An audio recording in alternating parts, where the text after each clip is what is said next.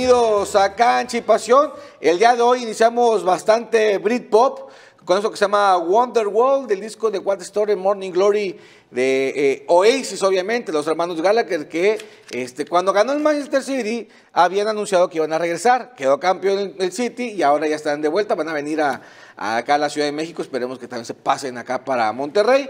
Pero por lo pronto, ahí está la música de Oasis. Mi nombre es Emilio Lucio. El día de hoy, mucha información, demasiada información. Sobre todo, pues en esos momentos hablar de lo que es la tendencia, menos en el fútbol, porque la femenil tiene una vez más final regia. Por ahí también eh, me dan noticias para el seno rayado. Ah, también hablaremos un poco de Tigres.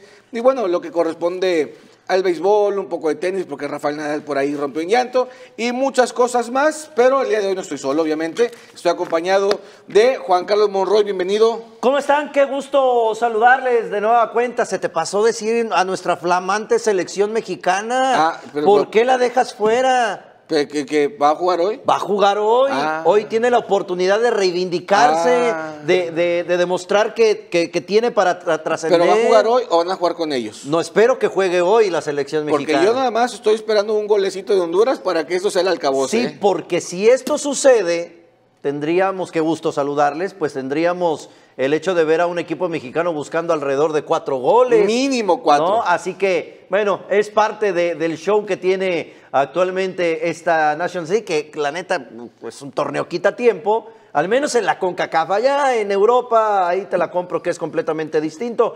Pero bueno, también está la selección que pues es lo que hay, Emilio. pues sí, hay que decirlo. Si tenemos esta, este ayuno, por así decirlo, futbolero, es por culpa de la fecha FIFA. Pero pues bueno, al menos ahí la femenil nos va a dar un poquito de qué hablar, porque justamente anoche pues el equipo de las Rayadas pasaron por encima, lo que ya se esperaba, y en el global le pegaron 7 por 1 a las Tuzas, que la verdad es que no metió las manos, ¿eh? Aquí intentaron un poquito, pero pues no les dio la verdad. Fíjate que el día de ayer, cuando estábamos ahí en la previa con los colegas de la prensa con respecto a lo que sería este partido, la gran mayoría coincidíamos en el hecho de, bueno, al menos que Pachuca, pro espectáculo, pues que se vaya 2-0 al medio tiempo y ya ahí encuentras un poquito de emociones, que se ponga interesante. Pero si ya te encuentras que al minuto 4, en el primer error que comete la saga de Pachuca, en una salida verdaderamente infantil y que aprovecha muy bien Cristina Burkenroth, pues ahí se acabó el juego. O sea, ya de repente dijimos, bueno, minuto 5 del primer tiempo, ya va ganando rayadas pues ¿qué hacemos con los 85 minutos que quedaban, no? Prácticamente. Ahora, entiendo que a la gente que fue al estadio a disfrutar y que pagó su boleto o que se llevaron cortesías eh, de cancha y pasión para asistir, pues ellos disfrutaron y ellos querían ir a ver goles. Los que teníamos que observarlo en el análisis y demás, pues ya no daba el encuentro para, para mucho eh, con respecto a este gol tempranero, que insisto, mira la salida. Sí, sí, la perdió. Cuando tienes todo el partido en contra, cuando tienes que hacer un juego prácticamente perfecto, pues así no se puede. Ahora, todavía, ah, y hay que decirlo que hasta se dio el lujo de fallar un penal el equipo de Rayadas, Rebeca Bernal, que después resarció su error, metiendo otro más ya sobre la hora. Y eh, pues mira, todo aparenta, aparenta, para que sea una final muy espectacular pero habrá que ver. No sé. espera, espera, pero habrá que ver las intenciones de Milagros Martínez. No sé. Porque Amelia, Amelia ha puesto un poquito más hacia arriba. Hace muchos años que los clásicos regios femeniles, a excepción del último que fue el 3 a 3 en un campeón de campeonas, ya son más cerrados. No a la par de los varoniles, que ahí de repente sí les da un frío tremendo. Sí, claro. Y te acordarás de Tuca y Bucetich, que no querían saber nada. No a ese grado, pero ya son un poco más calculadoras. Entiendo que en el arranque del fútbol femenil, con todavía algunos partidos, coincido contigo, amateurs, pasaba, por allá del año 2017, eh, pues veías marcadores de 5-5, 4-4 y cosas de estas, ¿no? Era entendible. Hoy ya son más profesionales, hoy ya tienen un, un mejor armado en sus planteles y hoy están mejores dirigidas. Es por eso que no les sorprenda que a lo mejor la gran final pues sea muy fría y calculadora por parte de las dos estrategas, eh, tomando en cuenta que se están jugando el título del fútbol mexicano. Ahora, eh, por lo pronto, después del partido, obviamente hubo declaraciones y entre esas, pues obviamente Amelia Valverde eh, así puntualizó de que la clave va a estar en que el que cometa menos errores seguramente tendrá la ventaja. Escuchemos. Bueno, ya entrando en el tema de partido, hoy pues obviamente a este momento estamos ocupadas y con la energía puesta en nuestro equipo en recuperar. Tenemos 24 horas menos, por decirlo de alguna forma, ¿verdad? Que, que en este caso el equipo rival. Y bueno, yo creo que el que cometa menos errores, el que esté más fino en el tema de la contundencia, y bueno, hay muchas cosas de partido que ya podemos ver, nos hemos enfrentado cuatro veces en esta temporada, va a ser la quinta vez, por ejemplo. Así que eh, ya mañana eh, estaremos con todo el foco, ¿verdad?, puesto en, en este tema. Aquí ya dejó entrar un poquito de lo que tú decías. Sí. El que cometa menos errores. Sí, claro, porque volvemos a lo mismo. No es lo mismo aquellos años donde se enfrentaban todavía creciéndose y desarrollándose, hoy ya mejor formados. Hoy me parece que eh, está en tela de juicio. No creo que Milagros Martínez vuelva a caer en el hecho de defenderse como lo hizo con América. Sería jugarle otra vez ahí a los dados y a ver qué nos puede salir. Y Amelia Valverde no se puede ir, de, eh, ahora sí que eh, todo al ataque, desbordada a únicamente ofender, porque tienes a jugadoras como Tembi y Ovalle del otro lado, que ya te demostraron que en el espacio largo, en un trazo, te pueden hacer daño. Es muy, muy calculadora la gran final que vamos a ver en esta ocasión. Me encantaría decir que van a quedar 5-5 y que usted va a disfrutar, pero ya no es así el escenario de cara a esta sexta final entre estas escuadras. Ahora, más adelante eh, estaremos viendo la cuestión de los horarios, porque ya lo dio a conocer. Pero antes de ir a, de, a, la declaración de Amelia, ahorita hablabas de, de jugadores como Tembi, este, O como, Valle. como Valle. Sí. Pero lo que también hay que buscarle, bueno, y hay que estar pendientes si va a estar Mari Carmen Reyes. Es ¿eh? correcto, porque hay información que ha trascendido de última hora que la lesión que presentó saliendo del terreno de juego, que inclusive se va en lágrimas, Sí. hay que decirlo, el partido empezando en la parte complementaria por ahí del minuto 2 o Sí, 3 nada más, sí, sí, del segundo claro. tiempo. A algo realmente le molestó como para que viniera la modificación y que ahí tuviera que ingresar Nayeli Rangel. Ahora, ese ya es un tema muy importante, lo táctico. Tú bien decías, buscar una variante. A ver, no está Mari Carmen, ¿qué puedo hacer? A lo mejor Montoya, a lo mejor tratar algo distinto. Está cantado, me parece, por cómo se ha manejado eh, Milagros Martínez, que va a entrar eh, eventualmente Nayeli Rangel si se confirma la lesión de, de Mari Carmen Reyes, ¿no? O habrá que ver. Es muy raro, ¿eh? Pero no creo que los dos equipos se salgan de lo mismo. Su línea de cuatro, dos contenciones, tres mediocampistas ofensivas, una media punta y el nueve. No se la han salido de ahí en todos estos años. El tema es que ninguno de los equipos que ves enfrente de la liga las detiene. Ahora, por lo pronto, Amelia Valverde dijo que de alguna manera está tranquila porque el equipo ha venido creciendo. Bueno, yo creo que hemos venido creciendo, eh, como lo mencionaba anteriormente, no solamente en las series, si bien es cierto el partido en Toluca es un partido durísimo, eh, por el buen planteamiento, por cómo se nos puso la serie, que pasamos justas, eh, pero antes de eso veníamos haciendo, la verdad es que las cosas bastante bien, como incluso lo, lo mencionó Cristina, eh, el partido acá contra Chivas, el partido contra Tijuana, la serie completa contra Toluca, que hicimos cosas muy buenas, a pesar de que no, pues el resultado tal vez no lo refleja, pero sí somos conscientes de, cómo se desenvolvió el equipo. Y la verdad es que sobre todo el primer tiempo y el cierre del segundo en, Pachuca, es, es, la verdad es que el equipo logra consolidar muchas cosas. Y es que hay que decirlo, Rayadas se cerró bastante bien, de, pues, por algo se afianzó en el liderato. Eh, si bien se le complicó contra Toluca en la ida, pues supo solventarlo ya en la, en la vuelta, aunque se le complicó también, pero ya después la causa, la- el agua tomó su cauce. Ahora, eso con respecto a Mela Valverde. Pero también la que habló fue eh, Merel Van Dogen, quien comentó que para ella estar en estas eh, instancias, pues es como un sueño. Pues la verdad, yo fiché aquí en enero eh, y es ahora todo va como un libro, ¿sabes? Es llegar a una final contra América, marcar un penalti en minuto 100, ganar el campeonato, eso ya ha sido un libro. Y ahora llegar otra vez y poder jugar una final contra Tigres, cerrarlo en casa con esta afición, que por cierto espero que, van, que vamos a llenar el estadio, es un libro, la verdad. Estoy viviendo un sueño y cada minuto estoy disfrutándolo. Ay, de repente sentí ñañaras así, no, no, no sé por qué. Ah, bueno, al, al menos, al menos, este, pues digamos que ahí también estuvo las, las palabras de Berel Van Dogen, que también complementó diciendo que pues el hecho de estar en el liderato le da presión. No, no, pero a ver, hay que poner un poquito en contexto porque la pregunta se la hice yo. A ok. ver, resulta ser que cuando ves la serie contra Toluca, donde terminan pidiendo la hora casi casi, donde parecía que el equipo de las Escarlatas iba a dar la sorpresa, pues te quedas con muchas dudas del equipo de Rayadas.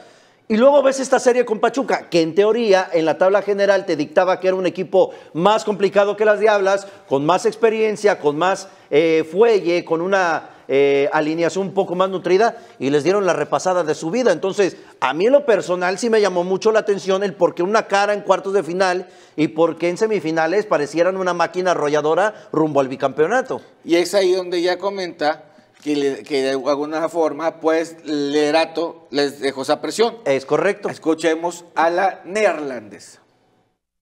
Eh, yo creo que cuando acabas la liga ganando eh, y, y, terminando siendo número uno, es una presión inmensa porque llegas como primeras, entonces la, en los cuartos tienes que ganar sí o sí. Esa presión nos pesaba bastante. Toluca lo, nos, nos hicieron un partido súper difícil y yo creo que los cuartos son los más incómodos en liguilla. Luego llegas a semis, es como todo o nada, ¿sabes? Y sacamos en este equipo, creo que tiene una personalidad para ganar esos partidos. Entonces, cuartos fue incómodo, semis fueron mucho más relaxed y ahora nos faltan la final. Que por cierto, le mandamos un saludo también al papito que seguramente anduvo por ahí. Este, vamos directamente con la, el historial de los enfrentamientos entre eh, Rayadas y pues obviamente el equipo de Tigres, sobre todo en lo que corresponde a finales. Porque mira, podrá estar pareja, pero aquí se podrá definir muchas cosas. O se empata la serie, por así decirlo, o vuelve a tomar la ventaja el equipo de Tigres. Fíjate, y hay que tomar en cuenta algunos aspectos. Van a cerrar en el Gigante de Acero. En el Clausura 2018, la primera final regia en la historia, Tigres fue campeón en el Gigante sí, sí, sí, eh, de Acero. En el Clausura 2019 le repite la dosis. Que en, esa, en esos dos vacunó de último, bueno, no último momento, pero generó la, la ventaja Katy Martínez. Sí, bueno, y en, primero era el director técnico Osvaldo Batocletti en paz descanse, Ajá. posteriormente Ramón Villaceballos. Luego en el Apertura 2019, Rayada se cobra la revancha, la tercera final cerrando en el BBVA, ahí sí la ganan las Rayadas con gol de Diana Evangelista. Para el Guardianes 2020, por primera vez se enfrentaron en el Estado Universitario, pero hay una curiosidad ahí,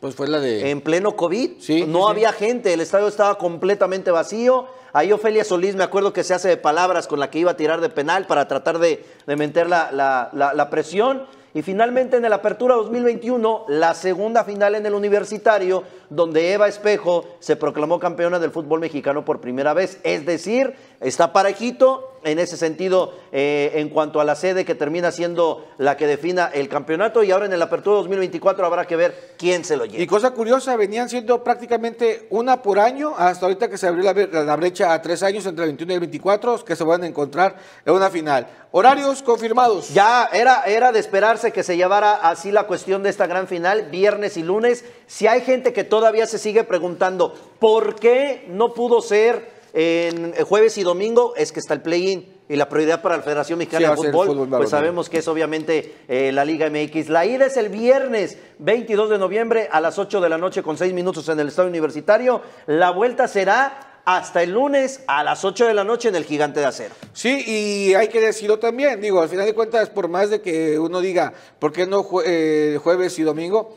Estos son los horarios habituales de la Liga MX. Eh, El lunes femenil. es el día tradicional de la Liga MX femenil, así que háganse la idea de que todas las finales de este certamen se van a jugar en ese día. A no ser que no haya algo varonil y las acomoden Muy ahí. complicado, muy no, pero ya una vez pusieron, por ejemplo, el Chivas eh, América en, en su horario. semifinales han puesto, Sí. pero la final como tal está pactada siempre para el lunes. Pues esta es la información de la Liga MX femenil para que usted se prepare viernes en el San Nicolás y, y el lunes en Guadalupe. Y día de medios el jueves. Perfecto, ahí estaremos cubriéndolo como tal. Lo que usted está escuchando se llama WhatsApp de Four Non Blondes. A lo mejor no le, no le, no le suena el nombre de Linda Perry, pero es la, la vocalista de esta banda. Y nada más para decirle, salió el 92, el disco se llama Better, Faster, ah, Bigger and More. Así se llama el disco de ahí, de, que fue el álbum debut de Four Non Blondes con este One Hit Wonder bastante interesante noventero. Así que bueno, damos la bienvenida a eh, eh, Rodolfo González, que ya se une a la mesa. ¿Cómo estás? Bienvenido, buenas tardes. Buenas tardes. Oye,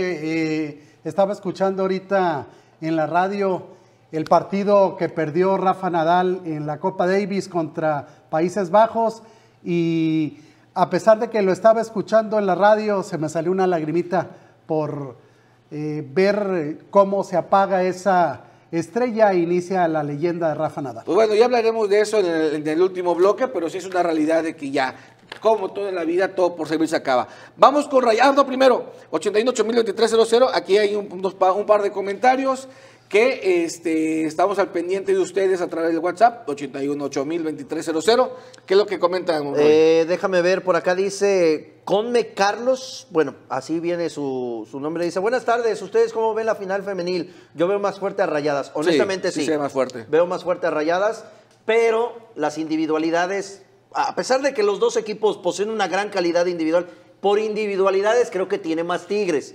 conjunto creo que tiene más Rayadas. Y otra cosa, em, eh, esta Milagros Martínez a tirones y empujones, pero saca los partidos. Es correcto. Y dice Fran Cuevas, eh, Emilio, ¿cómo se llama esa rola? Me encanta. Si puedes escríbemela el título aquí, por favor. Pues ándale. Ahí pero. ¿cuál era? A ver, No, pues no sé. ¿a qué hora llegó? A No ver, sé, al yo, momento... mira, al- fue la primera con la que abrimos, porque es a las 2 con 4 el mensaje. Ah, sí, este... Y que te invita a comer, dice también. Ah, a ver, ¿neta dice no eso? Ah, pues, a lo mejor, a lo mejor quería este, una, una pequeña conversación musical. La primera fue...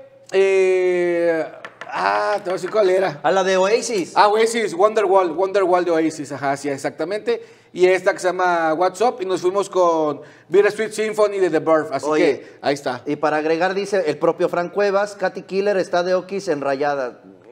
No ha sido su mejor torneo. Mira, sería, antes de, de entrar con esto, sería una, una buena, un buen tema a discutir porque, a ver, Katy Killer llegó como una gran apuesta para Rayadas, Sí. no solamente en lo futbolístico, sino para hacer un, un engagement tanto a nivel este, de marketing como con la afición.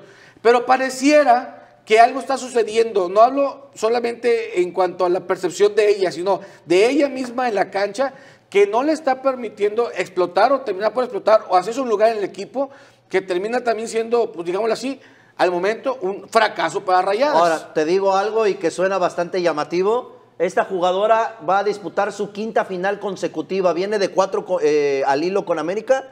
Y ahora en su primer torneo con Rayadas también está en la gran final. O sea, también tiene esa parte de, de- Pues digo, de su buena fortuna, ¿eh? pues sí, pero, pues- Porque no está pasando por un buen pero la momento. parte individual es la que sigue Sí, faltando. pero cinco finales consecutivas, Sí, no cualquiera te no las es cuenta, poca ¿eh? cosa. Mm, Pues, ¿qué te puedo decir? Eh, yo apoyo el comentario. Katy Killer, a pesar de que ha sido una jugadora eh, con bastante gol, pues como todo, todo tiene, tiende a, bajar. pero no, pero todavía está muy joven como para que se haya caído tan pronto. No, no, no, pero a ver, eh, si es llamativo que tiene solo dos goles en lo que va de la campaña, uno contra las centellas, yo le meto un gol a las centellas en un pie, con todo respeto, y el equipo de Mazatlán fue otra de las anotaciones que tuvo en la liga. Son equipos en los cuales pues, prácticamente cualquiera jugadora de- del terreno de juego que quieras, a excepción de la portera, puede meterle gol a estos equipos. Dicho con todo respeto. Entonces, Katy debe de mejorar de cara a la liguilla. Hablando de gol y pasando a rayados, se prenden las alarmas porque, a ver, vamos a ponerlo en contexto. Habrá que esperar el parte oficial, ¿ok? Pero, así como se habló de Lucas Ocampos, que tiene un edema y el kinesiólogo es, es un, le, le dio esta, el agua del Space Jam y se recuperó tan pronto, habrá que ver si se confirma esto otro, porque todo indica, de acuerdo a diferentes reportes, que Esteban Andrada se perdería la liguilla y, te- y tendría que entrar a cirugía por una cuestión de la rodilla. Sí, desde el día de ayer comenzó a trascender esta noticia. De hecho, ahí en los pasillos del gigante de acero, por ahí de la sala de prensa, Ajá. empezó a soltar eh, este tema a algunos colegas y se empezó a indagar, bueno, ¿qué pasa con Andrada? ¿Cuál es el tipo de molestia que presenta? ¿Realmente se podría perder la liguilla? Y habrá que ver porque estos golpes de suerte en cualquier carrera, eh, cualquier jugador, sobre todo en los porteros, se lo quieren encontrar. Hoy decirle al Mochis, se aventó toda la fase regular el Esteban Andrada, pero vas a entrar al quite en la liguilla, es la No, oportunidad de su vida. Pero hay que ser honestos. O sea, por más que sea por su oportunidad, está muy por debajo del nivel Ah, que muestra Estoy de acuerdo. Yo nada más estoy diciendo, yo no, yo no los comparé. Yo estoy diciendo que la oportunidad que tiene el Mochis no se la va a encontrar muy seguido. Y si no es aquí, pues ya que le busquen otro equipo, porque aquí no va a jugar de titular. A ver, Rodolfo, tú consideras, de acuerdo a lo que comentamos, Roy, ok, esa oportunidad está bien, te la compro. Pero no sería como mandarlo al matadero considerando que a lo mejor sus actuaciones han sido discretas o buenas contra equipos medianeros y no en, circunstancias importantes como lo es la, la liguilla. Mira, eh, yo creo que el Mochi se le debe de dar la oportunidad por dos razones. Una, porque si está en el equipo, quiere decir que trae nivel si no hubieran contratado a otro portero. Y segunda, apoyo lo que dice Monroy. Ante esta oportunidad se tiene que crecer y por ser mexicano le tenemos que dar la oportunidad. Ahí fue el mismo comentario que hice con lo de Pero Corona. espérame, pero Pero, aquí- eso es un patrioterismo. Sí, no, O sea, no, no ah, es porque es mexicano, sigue, saca la bandera. No, no, no Entonces, somos ¿por qué escucha. estamos tan mal en la selección? Porque no damos oportunidad a los mexicanos. Esa es la No, realidad. pues ver, ahí va a ser su oportunidad, pero que esté el nivel de lo que yo estoy diciendo. Pero tiene, por algo está entonces con el equipo rayado, si no, ¿para qué está Pero en la espérame, banca? aquí la oportunidad se le está presentando no por méritos propios, no porque haya hecho... No, se le está abriendo la chance por una lesión de un compañero. O sea, es decir, hoy de estar al 100% Esteban Andrada, sabemos todos, todos, incluido el propio Mochis, que no va a jugar, que el titular sería Esteban Andrada. Por eso yo digo, dejando patrioterismos de lado, respetables, Bueno, a pero... ver. A ver, la oportunidad la tiene que aprovechar, porque si no, cuando regrese Andrada para la jornada 1 del torneo siguiente, va a estar siguiendo como titular el argentino. ¿No consideras que, que este, Rayado se ve disminuido con el Mochis en la portería? Estoy de acuerdo, porque no tiene el nivel. Pero muchas veces, ¿cuántas veces ha sucedido que jugadores que están en banca tienen su, su, su buena, eh, Sí, su- su su buena participación, su se inspiran y se vuelven Mira, titulares? es, es tan claro como esto. Si va a jugar la liguilla hasta donde llegue Monterrey, el Mochis Cárdenas, es una vitrina para él. Así es. Para que algún equipo de media tabla, con todo respeto para el Mochis, que es donde puede llegar a jugar, alguno diga, échamelo para acá. Pues yo le doy el voto de confianza. Yo creo que Monterrey no nada más va a depender de la portería, va a depender de cuántos goles pueda meter. Entonces, Es más, ya, Va, va, mira, va, te va. la pongo. Va. Si tiene una buena liguilla y sabiendo de que no va a jugar en Monterrey mientras esté Esteban Andrada, León levanta la mano por él. Porque Oscar Jiménez no está para ser titular del equipo de León. Por ejemplo, un sí. equipo ahí, el Puebla. Oye, desde que se fue Viconis, ¿qué ha pasado en la portería No, del nada. Puebla? Nada. A ver, pues échamelo, a lo mejor jala para acá. Es la vitrina para el Mochis de saber que puede encontrar un equipo donde sí pueda ser titular de manera constante. Ahora, nosotros estamos especulando alrededor con la Claro, información que salió. claro. Porque Esteban Andrada ya dijo, hey, aguántense, habrá que tomar la mejor decisión, pero ah, pues, habrá que ver también cómo se desarrolla esto. Escuchemos. Sí, tengo que ver, ahí me pusieron el plasma el domingo, no, el lunes, lunes. Así que tengo que ver ¿Y has sentido mejoría o estás Y más o menos estoy ahí. Ni bien ni mal. sigo Esperar igual, unos días. sí. No lo sé, depende cómo, me, cómo evoluciona. Como no lo sé, ahora vamos a tomar la decisión cuál es la mejor y bueno, hay que ver eh, en estos días. Eh, Andrada, por la forma en la que contestó, hasta él está dubitativo. O sea, Sí. cuando, un, cuando un jugador se siente y dice, no, sabes que voy a estar, sabes que no, pero ahorita él dice, pues habrá que ver, no, a lo mejor no soy tan bien.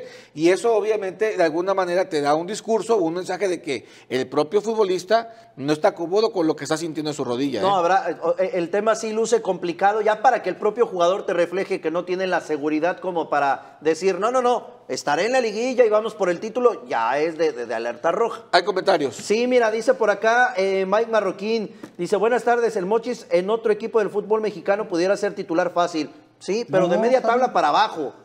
O, o dime uno Sí, de no, trascendencia. No, no. Mira, no, no, no, con Tigre no va a estar. No. Ni con Cruz Azul, No. ni con Ni con América, No, ni, ni Toluca. ¿no? Toluca ¿no? tiene a Volpi. ¿No? No, no, no, tiene que ser uno de media tabla para abajo. Pues oye, pues, eh, como lo comentaba, está el Leoncito con el que se hacen eh, algunas negociaciones. Juárez. Ahí está, ahí Dí- está la este. Díganme, ¿no? bueno, entonces, ¿cuándo, o sea, dejando al lado lo que ustedes están diciendo de patrioterismo, que no es así, ¿cuándo le vamos a dar la oportunidad entonces Pues a que los se la mexicanos? gane. Es que se O la sea, tiene por que eso, ganar. entonces es va a tener la- una es- no, no, no oportunidad. se la que yo dije. no la Hay que darle. No se la ganó. Es lo que yo dije, hoy tiene la Ah, oportunidad. Bueno, es, como, es como la, es como la regla, es como la regla esta de los jóvenes. ¿Realmente el Chicha es así, el super titular de Tigres? No, esto por necesidad. Oye, y Jonathan Orozco se ganó la oportunidad. Sí. ¿Y cómo se convirtió ¿quién en un era? A ver, jugador? A ver, a ver, a ver. ¿Quién era el portero que, al que suplió Jonathan Orozco? Si no me falla era este Martínez, ¿no? Ricardo Martínez. No, no, no. O No, Cristian Martínez. Martínez. Ah, Cristian Martínez. Cristian Martínez. Martínez. Cristian ¿Qué Martínez. estaba más preocupado el gimnasio que en la portería? ¿Estamos de acuerdo? Ahora, Pero pero, ve, por ejemplo, perdón, eh, Rodolfo. Si no, Fran- si no está Lucas Lobos, que se lo recuerde. Frank Cuevas dice, es el mismo caso, por ejemplo, de Miguel Ortega, el que estaba en Tigres. ¿Por qué se fue Miguel y se Ortega? fue. No va a jugar aquí. No, y cuando jugó, cuando tuvo su oportunidad, no funcionó. No funcionó, se tragó dos que tres goles. Sí. hay, hay casos así muy raros de que llegan a aprovechar la oportunidad y ya no la sueltan. Esta te va a doler, pero la tengo que decir. Ay. ¿Te acuerdas cuando llegó Sebastián Saja? Como el portero. Sí, como al no. conjunto del América. Sí. Se lesiona, venía con bombo y platillo, iba a ser el titular. Creo que era Ruggeri el que le confiaba en. No pasó nada con él. Se lesiona, entra Guillermo Ochoa, ¿no es cierto? Era Ah, pero no me duele, son mil goles en contra. Pero entró, entró Guillermo Ochoa, y te guste o no, Aparte- tiene seis mundiales casi casi en la bolsa. ¿eh? A, Ochoa le tengo cariño porque cuando Tigres iba para la Azteca, Lucas López lo vacunaba entonces. siempre. Pero a lo que voy es eso. Digo, entiendo la jiribilla, pero cua- cuando Saja Sí, estaba punto, firme, tiene punto. recibió una oportunidad de una lesión y ya no la soltó Guillermo Ochoa y mira la historia en la que se convirtió. Bueno, así, así surgieron en Tigres, por ejemplo, los, los Rorros, sí. los Edgar Hernández. ah, sí, sí entiendo esa parte también. Cirilo Saucedo. Pero sí, sí, no, pero Cirilo Saucedo venía. Él llegó. no, Edgar llegó. Hernández, por ejemplo. Edgar Hernández, el Palos. Rorro, o sea, esos surgieron Enrique como- Palos. Pues Enrique Palos. Que Enrique Palos realmente no era el mejor portero. Era porque tenía No, una tenía una muy buena defensa. Una defensa que no le pasaban. Oye, este, yo me acuerdo de una estadística perfecta de aquellas épocas, de que era este Hugo Ayala y Juninho. Con el 99% de pases. Claro, pues nada más la tocaban entre ellos. O sea, y ahí paseaban un poquito, sacaban la línea, botaban y ya, pues era gol. Pues tenemos que darle oportunidad a los jugadores mexicanos, si no se va a seguir reflejando en la selección. O sea, eso es lo que voy a defender siempre. Bueno, perfecto. Entonces ya veremos si ahora el, el joven Rodolfo Corona, este... El Tecatito González. Ro- Rodolfo Corona, ¿cómo, y cómo se llama este? Este, Mochis Cárdenas, pues también este, ahí se hace una fusión. A ver, vámonos ahora con Tigres, porque entrenaron en el, en el set, que es el Centro de Entrenamiento Tigres, allá en el Udo, allá por San Ah, Me- Nicolás. Me, me dio sed. Eh, ándale, por ejemplo, este, sobre la López Mateos. Entonces, ahí estuvo entrenando el equipo de Tigres. Y mencionar, mencionar que Gignac entrenó al parejo, y eso es buena noticia. Si bien trae un vendaje especial, pues el hecho de que esté ahí entrenando habla de que su lesión no es tan grave. Sí, va avanzando bien eh, el francés. eh, también el caso de Carioca, que era otro de los que estaba por ahí en cierta duda. Ahora, estamos a martes. La liguilla se define hasta el domingo y Tigres estaría jugando entre miércoles y jueves. O sea, le falta muchísimo a esto. Eh, por ende, bueno, pues únicamente son entrenamientos. No sé hasta cierto punto qué tan exigentes puedan ser, tomando en cuenta manejar las cargas físicas, que no se me truene alguno. Pues está en ese ir y venir eh, Tigres, esperando a que llegue la fecha, porque no hay de otra para el equipo regiomontano. Y eh, pasando a la Liga MX rapidito antes de irnos al corte, mencionar que pues obviamente el jueves está eh, jugando el play-in, se van a estar dos partidos, Chivas contra Atlas y América contra Cholos.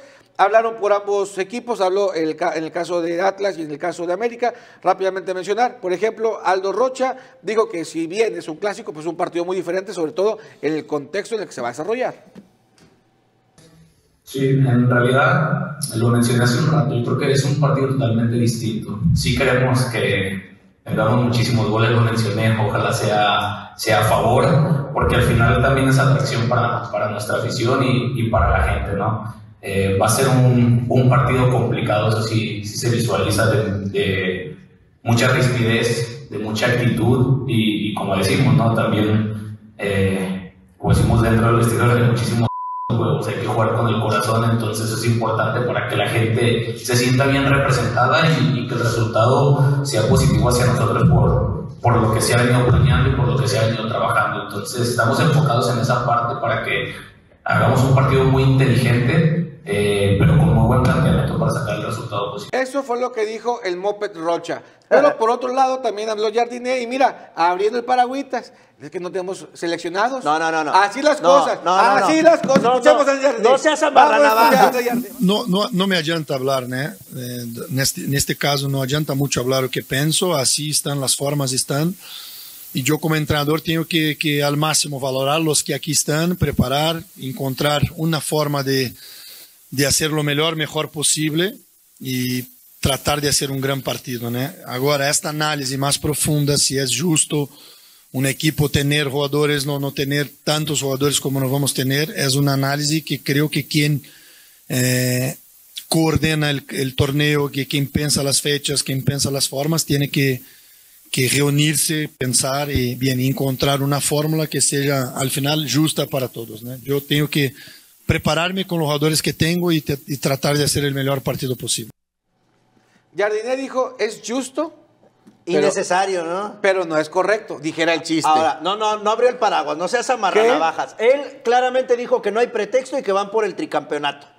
Ahí está el sueñiño. Lo que usted está escuchando se llama Like Stone de la banda Audioslave, en la voz de Chris Cornell, que en paz descanse. Y nada más para que tenga el contexto completo de esta banda, los tres integrantes músicos, es decir, guitarra, batería y bajo, eran de la banda de Rage Against the Machine, que en su momento era liderado por Zack de la Rocha, muy buena banda, totalmente de protesta. Escuche por ahí Guerrilla Radio, Testify o Bulls of the Parade.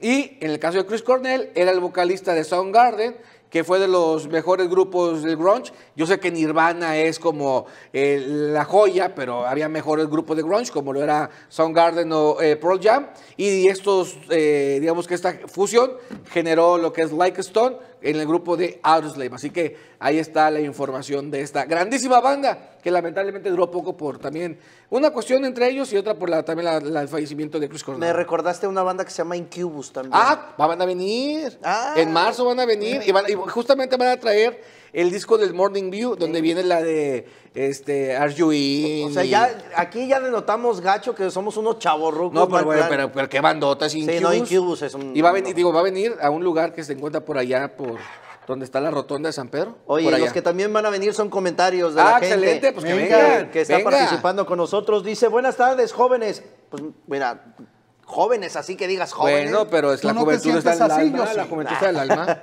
Dice el señor Castro, ¿piensan ustedes que si Tigres Femenil pierde, le dan el, el adiós a la tía Mila? ¿Qué dicen? Eh, ojalá. Yo también digo que ojalá. Yo digo que no se va. Eh, No se va. Y bueno, también dice, el Ojitos Mesa de Cruz Azul siempre calentó banca y nunca jugó, terminó de entrenador. Bueno, es que hay que decirlo, los mejores entrenadores no son los mejores futbolistas. ¿Cuántos ejemplos hay de que a lo mejor el que era medianito de- o de banca, como percepti- tenía una mejor percepción del, del termómetro de la banca, Sí. eso lo hace manejarlo mejor cuando es técnico. Y dice Mike Marroquín, si Tirso Carpizo pudo ser titular una temporada, tú puedes, Mochis. Es lo que dice él. ¿eh? A mí no me, a mí que no me diga nada. Hay que darles el empujoncito. Y la bomba Ruiz Díaz también, por cierto. Para- Bueno, vamos con más información porque el día de hoy juega la decepción mexicana. Los ratones verdes se enfrentarán a Honduras. Pues, ¿de qué país eres tú, hombre? Ah, pero yo Ah, soy ah, mexicano. Yo estoy orgulloso de ser mexicano. Ahora sí son la mexicanos. no, no, espérame. Que la selección sea un equipo que realmente esté lleno de puro cascajo, que juega cuando quiere y que nada más va por dinero, no significa que yo no deje de ser mexicano. Estoy de acuerdo en eso, pero también hay que entender y hay que ser honestos con nosotros mismos, que no sé por qué la prensa nacional se enajenan en venderte que es el mejor producto y demás. Tenemos una generación mala de jugadores, ni modo, así nos tocó. Y en otros países, por ejemplo Estados Unidos, pues ya nos sobrepasaron. Ni modo es la realidad del balompié nacional. Pues hoy juegan a las 8.30 allá en el MSO10 con la intención de revertir el 2-0 en contra y que no les caiga un golecito porque los obligan a meter cuatro. Cuatro, sí, se pone cuesta arriba en esta Nations League. Los escenarios para la selección mexicana son bien sencillos. En el dado caso que queden 2 a 0, se jugaría tiempo extra y en dado caso penales.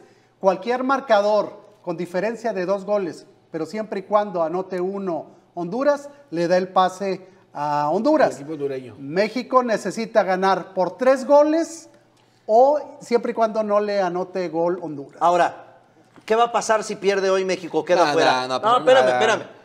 La prensa nacional, fuera Aguirre, que se vaya Aguirre. Cuando el tema no son los directores técnicos, pueden pasar 80 mil estrategas y el problema sigue siendo lo que acabo de decir: Mira. una mala generación de jugadores. En este Inter sonaba eh, Bielsa para dirigir a la selección. Mm. ¿Qué fue lo que dijo Bielsa? A mí denme todo el control deportivo. ¿No lo dejaron? Pues para que lo agarro. Claro. Que este es el fútbol mexicano. Por eso cuando tú me dices que si no, pues yo sí soy mexicano. El asunto es que, ¿cómo voy a apoyar a un equipo que nada más está basado en intereses comerciales y que nada más este, eh, basado en a ver quiénes son mis amigos para que sigan jugando? Ni todavía dijeras, pues Messi y sus amigos, bueno, ¿qué, qué amigos tenía? Ya, pero no? qué diferencia. Mascherano y- pero estos, no me digas ahorita No, que, no, no. me digas que, que- que, por ejemplo, Johan Vázquez está en su mejor momento, que César Montes está en su mejor El propio Luis Chávez, que allá la está reventando aquí, ¿qué viene a hacer? Nada, bien obligados. Por eso yo digo que este equipo que se que viste de verde y que dice representar a México, pues es un equipo que nada más va a, a cobrar sus primas y les decía, larga, les vale un pepino la selección. Hace rato no transmite. Eh, en uno de los noticieros del día de hoy, Rosalinda me preguntaba cuál fue la última selección que transmitió algo, al menos para mí, en lo personal, la de 1998. De no, la de la Volpe también, 2006. Puede ser, pero creo que todavía tenía un poco más de sangre la de Manuela Puente allá en Francia. Probablemente, sí. algo que a mí me pasaba yo me acuerdo cuando llegaba la eliminatoria, te emocionabas de ver a la selección nacional, pero se empezó a ver esa desconexión que había con el equipo a partir del 98 y luego empezar a sufrir con las eliminatorias y si no, no olvidemos la del 2014. Triste. Casi, casi. Yo me voy a una cosa, ¿eh? Ayer la One Nation, One Team le pegó a Jamaica y sin ningún problema, ¿eh? Nada más estoy diciendo que estos equipos como Estados Unidos que han venido creciendo toman los partidos contra los que uno batalla, como México, y ahí lo toman como una pretemporada. ¿eh? Oye, México debería de considerar jugar contra la selección 210 de la FIFA, que ayer ganó tres goles por uno a San Marino. Oye, dice Frank Cuevas que te demos una cheve, que porque tienes toda la razón, los jugadores van por dinero. Ah, pues yo lo espero, porque ya, ya tengo usted, por cierto. Por lo pronto habló Javier Aguirre. Eh, pues, no, no, importa la hora, ¿verdad? Sí, no importa. ahorita con unos camarones ya es de comida. A ver, eh, habló Javier Aguirre. Y dijo, oye, la portería, ¿qué onda? Pues que no tiene dueño. De quien la agarre, ahí será. Escuchémoslo. Hoy, hoy por hoy no hay dueño en la portería. Te diría que todos estos partidos son todo, todo, todo, todo enfocado hacia elegir 23 jugadores para el Mundial. Todo, todo, todo, todo. Si vamos o no a Final Four, si vamos o no a Copa de Oro, si todos los partidos consigamos fuera de México, dentro de México. Todos, todos, todos, todos tienen la mira y los rendimientos eh, de mi parte para el Mundial. Todos, todos. No hay dueños de, de, ninguna índole de los cinco partidos, no sé quién ha jugado más quién ha jugado menos.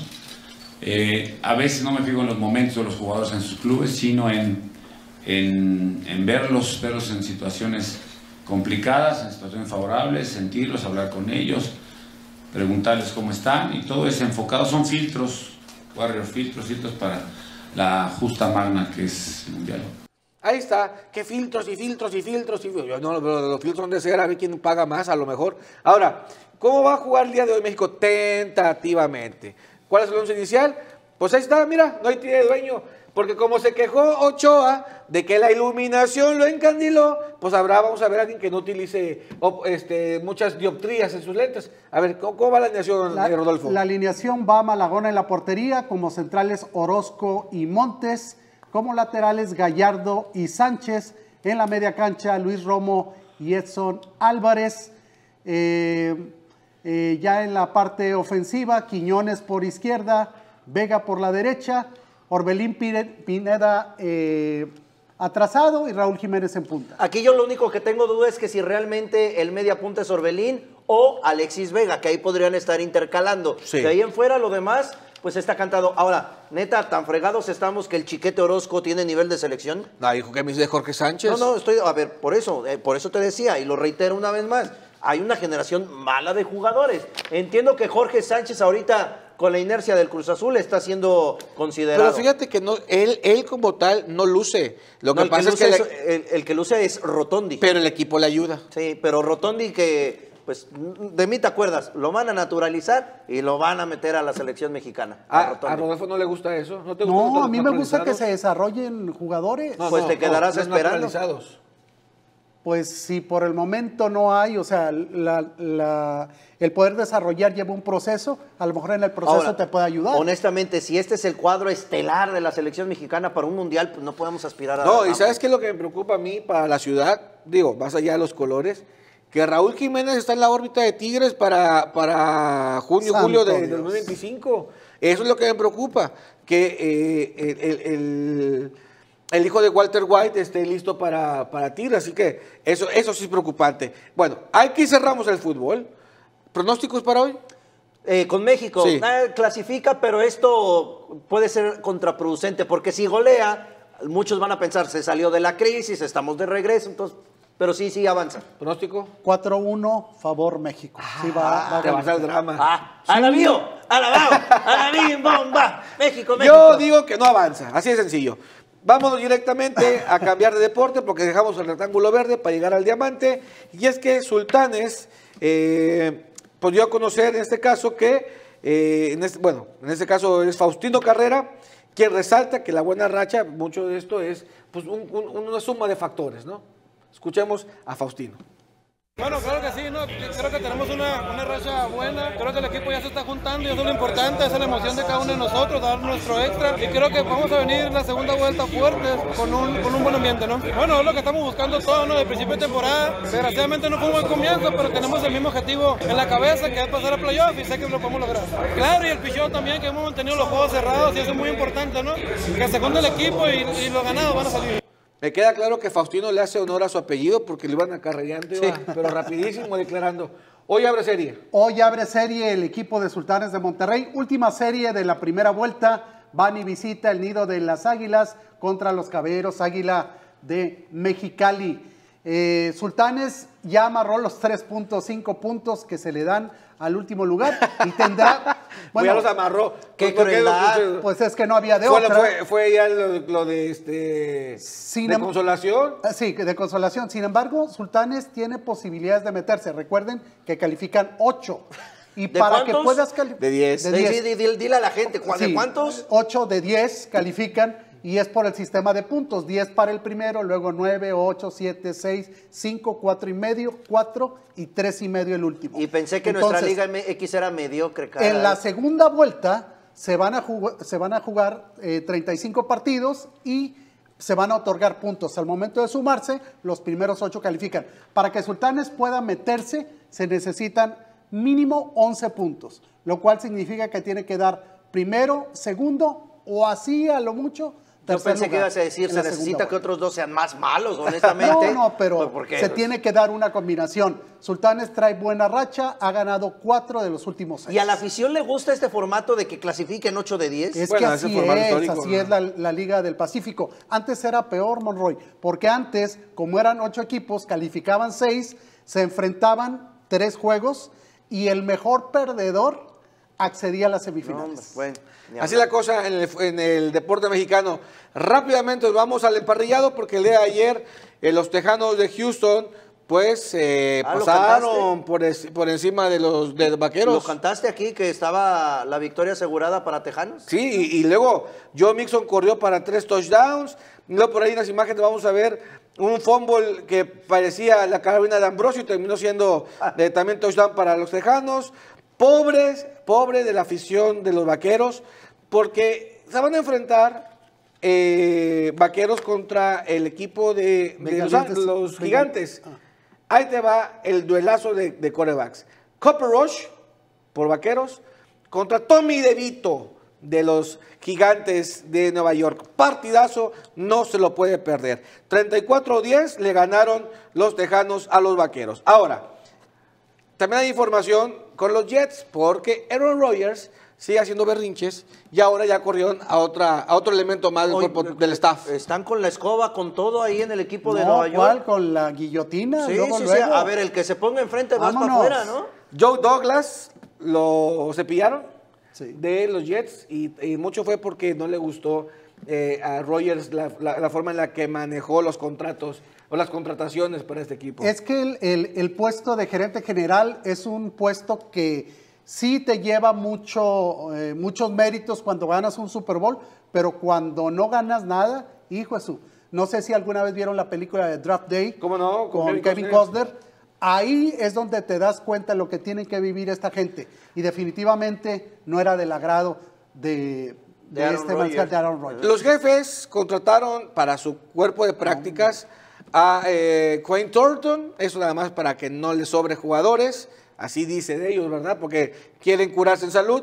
Y con los eh, Jaguares de Jackson, ahí podemos ver a- al príncipe del rap. Y eh, en el caso de los Jaguares de Jacksonville, eh, es baja de todo el torneo Gabe Davis, un jugador importante para ellos, así que pues eh, los, Jaguares de mal y de malas. Lakers anunció que se va a hacer una estatua de Pat Riley, seis, seis campeones con el equipo de Lakers, uno como jugador, uno como asistente, cuatro como coach.